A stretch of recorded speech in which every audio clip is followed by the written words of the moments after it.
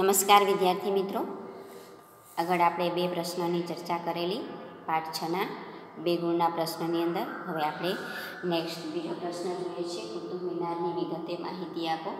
હવે કુતુબ મિનાર જે છે, એ ક્યાં આવેલો છે?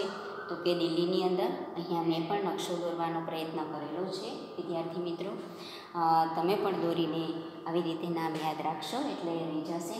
હવે કુતુબ મિનાર જે છે એ દિલ્હીમાં આવેલું છે. સતનલ કાળના સ્થાપત્ય શૈલીનો આ મિનારો જે છે એ શ્રેષ્ઠ છે અને ભારતનો ભવ્ય અને ખ્યાતનામ જે છે એ ઐતિહાસિક સ્મારક છે કુતુબ મિનાર કુતુબદીન કુતુબદીન એબકનું જે આકસ્મિક અવસાન થતાં તેનો જે જમાઈ જે છે તેના ઉત્તરાધિકાર ઇલ્તુમિસે આ બાંધકામ જે છે કુતુબ મિનારનું બાંધકામ બારસો ને દસમાં એમને પૂર્ણ કર્યું. હવે આપણે જોઈએ છીએ કે પૂર્ણ કર્યું તો કુતુબ મિનાર જે છે, એ પાંચ માળનું છે. કેટલા માળનું? તમારી ચોપડીની અંદર આવેલો છે, વિદ્યાર્થી મિત્રો. પાંચ માળનો છે, તેની ઊંચાઈ જે છે, એ બોતેર પોઈન્ટ પાંચ મીટર છે. અને તે ભારતનો સૌથી ઊંચો મિનારો છે, અથવા તો સ્તંભ છે. બરાબર? આ ગગનચુંબી ઇમારતના બાંધકામમાં લાલ ગોળ પથ્થર આરસપાણનો ઉપયોગ થયેલો જોવા મળે છે. કેમાં તો કે કુતુબ મિનારની અંદર? હવે એનો આપણે જોઈએ છે, ભૂતળનો ઘેરાવો જે છે એ તેર પોઈન્ટ પંચોતેર છે, મીટર છે. અને ઊંચાઈ પર જતાં જે છે એનો ભૂતળનો જે ઘેરાવો છે એ બે પોઈન્ટ પંચોતેર મીટર જેટલો છે. આ મિનારાની અંદર પુરાની આયાતો જે છે એ કંડારવામાં આવેલી છે, વિદ્યાર્થી મિત્રો.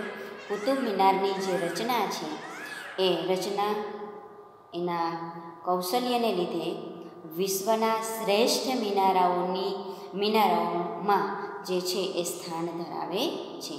આ જે છે એ આપણો કુતુબ મિનાર. વ્યવસ્થિત યાદ રાખજો, કુતુબ મિનાર દિલ્હીમાં આવેલું છે. દિલ્હીના સલ્તનત કાળના સ્થાપત્ય શૈલીનો એ શ્રેષ્ઠ નમૂનો છે. ભારતના ભવ્ય ખ્યાતનામ ધરાવતો એ ઐતિહાસિક આપણો સ્મારક છે. કુતુબદ્દીન એબકે આ કુતુબ મિનારનું બાંધકામ જ્યારે શરૂ કર્યું હતું, પણ એ બાંધકામ જ્યારે શરૂ કરતાં કુતુબદ્દીન એબકનું આકસ્મિક અવસાન થયું અને એ અવસાન પછી એનો જે જમાઈ છે એના જે ઉત્તરાધિકાર છે ઇલ્તુમિશે એ બાંધકામ પૂર્ણ કર્યું. અને પાંચ માળનો આ મિનારો છે, એ એ મિનારાની અંદર ગોળ, લાલ આરસપાળનો ઉપયોગ થયેલો છે. અને એમાં જે છે, ભૂતળનો ઘેરાવો જે છે, એ તેર પોઈન્ટ પંચોતેર છે. ઊંચાઈ પર જતાં બે પોઈન્ટ પાંચ મીટર જેટલો થઈ જાય છે.